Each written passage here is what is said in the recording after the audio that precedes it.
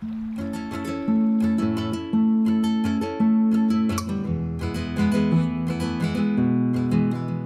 centre is all about children making connections between what they learn in the classroom and real life. We're trying to help the children make um, connections between what they do and how it impacts the environment. The centre offers programs for grades 5, 6, 7, 8, and we have a program for Science 1206. We have bogs, we have forests, we have ponds and streams, and so there's so much there that they can see for real life. We have a, a, wonderful boardwalk that goes right across a bog, so the students can get right up and look inside a pitcher plant, and they can stick a stick deep in the bog and see how deep it is, and they can realize that it's actually made of water with plants in it. This is so hard to learn from a textbook, but when you're right there in the bog, it means so much more.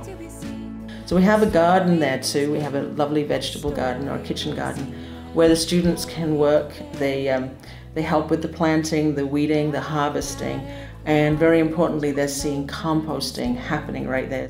We feed the children well, they, they really enjoy the food, but we're also trying to help them make connections between uh, the food that they're eating and the environment. So obviously students are learning a lot about the, how they should be eating healthy, but we try to help them to realize that it's not just about their health, it's also about the health of the environment.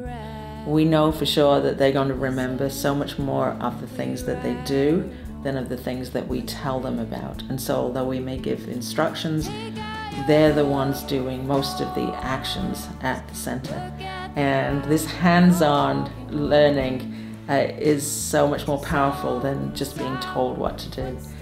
In orienteering, the children are learning about teamwork and they're learning about problem solving and they're learning how to read a map and they're learning about how important map reading is in real life. It means so much more to them when they're doing it for real rather than just sitting in the classroom learning about, about maps.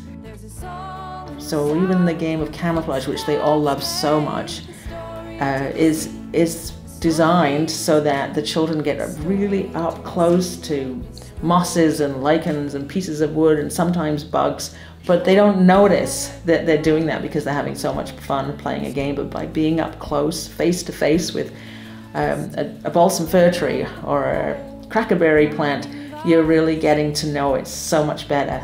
And I think for some children, if you ask them to touch those things, even the beautiful soft mosses, They've never done that before, and if they're consciously doing it, it's not always easy for every child. But when they're doing it unconsciously through play, they're learning that it's a safe environment, that it's an environment that's worth preserving, that they, they, they should be taking care of all these beautiful things.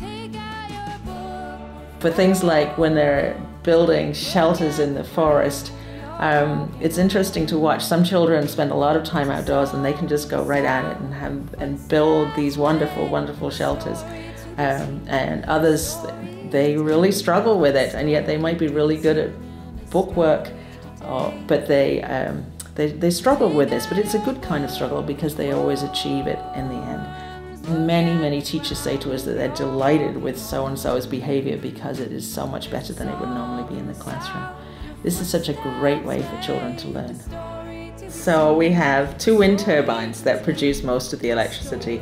So the wind turbines also become a focal point for teaching children about climate change and the reason for um, conserving electricity and for producing electricity using um, other sources than Holyrood Power Station.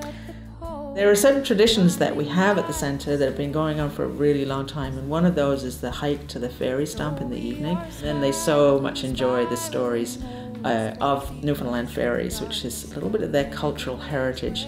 And it's just a perfect location for talking about fairies right there in the woods where the fairies are watching from behind the trees.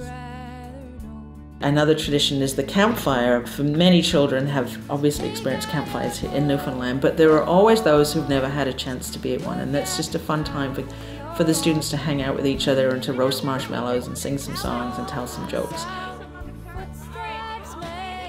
We love for the children to do nature journaling on the last day, to, in the last few hours that they're at the centre, because by the time they've been there for um, a whole day and a night, they've they're very, um, they're ready for a little bit of quiet time.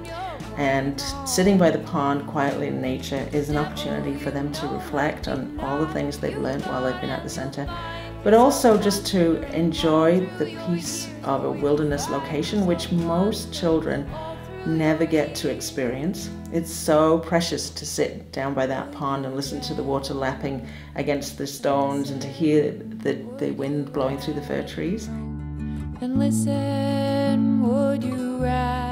you know, I really encourage teachers to consider taking their students there because it's such a it's such a great opportunity for the, the students to um, get to know each other, to learn more about what you're teaching them in the classroom, and uh, to build memories that will last them a lifetime.